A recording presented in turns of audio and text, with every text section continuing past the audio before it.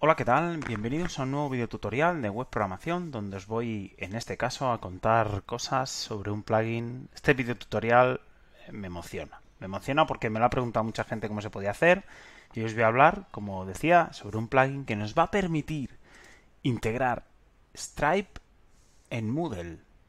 O sea, eso es el Dream Team. Eso es la mejor plataforma de formación online con diferencia que es Moodle con prácticamente junto a PayPal las dos mejores plataformas de pagos internacionales que es Stripe y PayPal. Sería la, segunda. No me atrevo a decir cuál de las dos.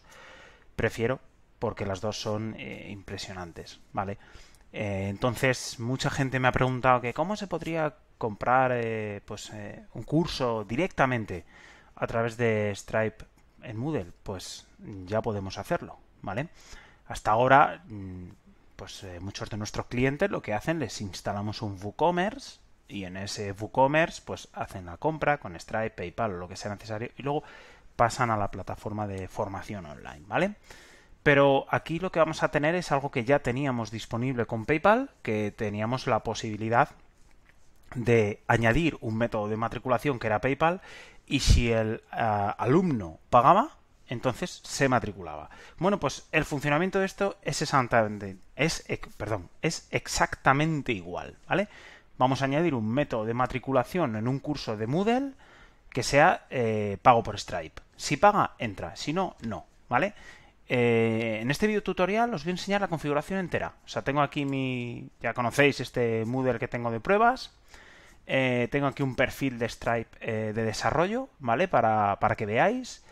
Y tengo aquí eh, el, fantástico plugin, ¿vale? Entonces voy a descargarlo, voy a instalarlo, voy a configurarlo y os voy a enseñar cómo añadir en un curso ese método de pago, ¿vale? Entonces, bueno, antes de meternos en harina, lo que os animo es que si os gustan este tipo de videotutoriales, os suscribáis al canal de web programación en YouTube, donde veréis eh, constantemente videotutoriales de este estilo.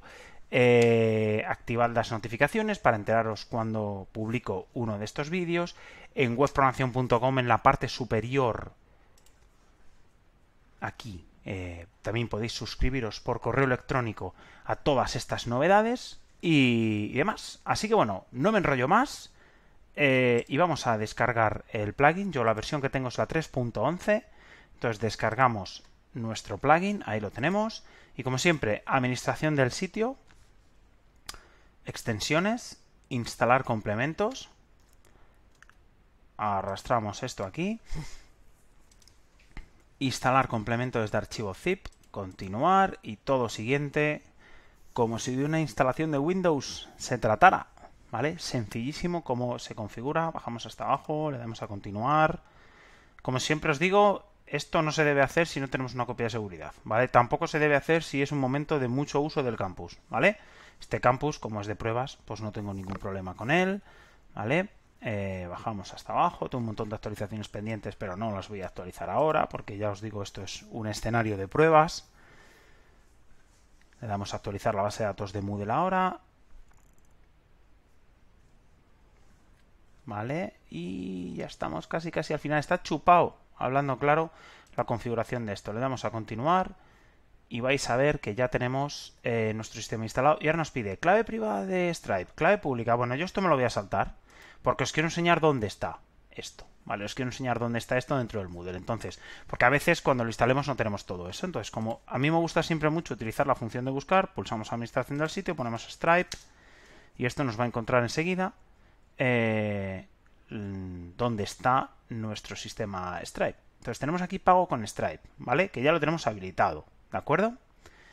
A ver, no, perdón, perdón, no está habilitado. Está, tenía el ratón encima y lo veía así más, más oscurito.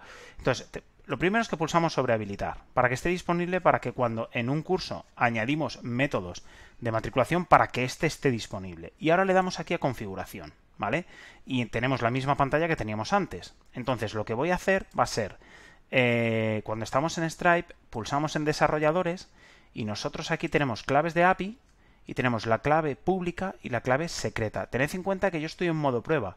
Entonces, los datos que yo veo son datos ficticios, son datos para hacer pruebas. Vosotros tendríais que activar, lo único que no voy a hacer en este video tutorial es activar la cuenta de Stripe, que tendríais que activarla pulsando aquí y mandando la documentación a Stripe que ellos os requieren.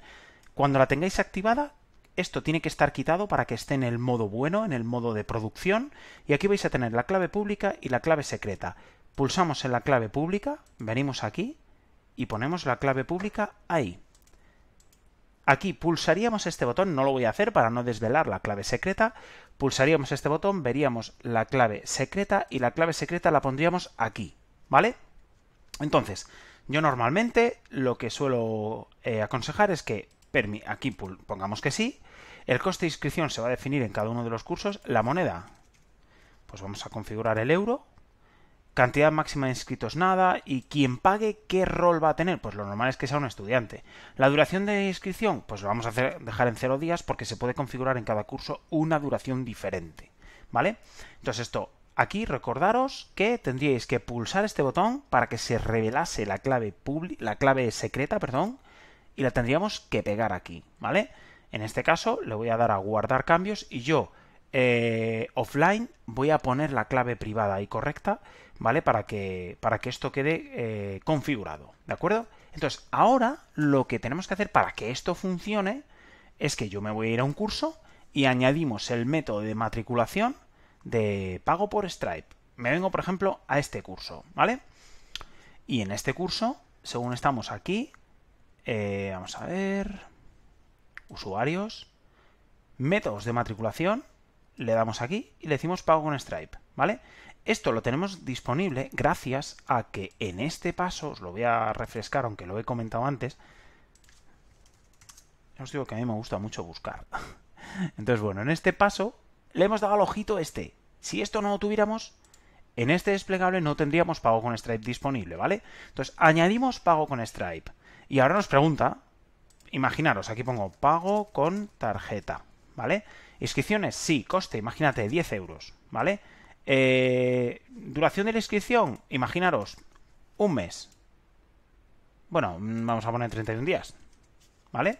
Quien pague esos 10 euros va a tener una matrícula de 31 días añadir método. ¿De acuerdo? Entonces ahora, cuando un estudiante intente entrar en este curso, el sistema le va a permitir iniciar mediante pago. ¿Vale?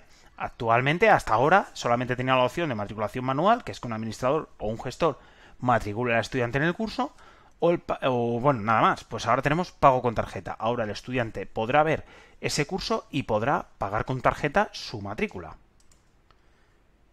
Así que con eso ya lo tendríamos. Podríamos mandarle el enlace del curso a un estudiante que ya está en el campus, por ejemplo, y que se matriculase después de hacer el pago, ¿vale? Entonces es una función eh, súper, súper interesante.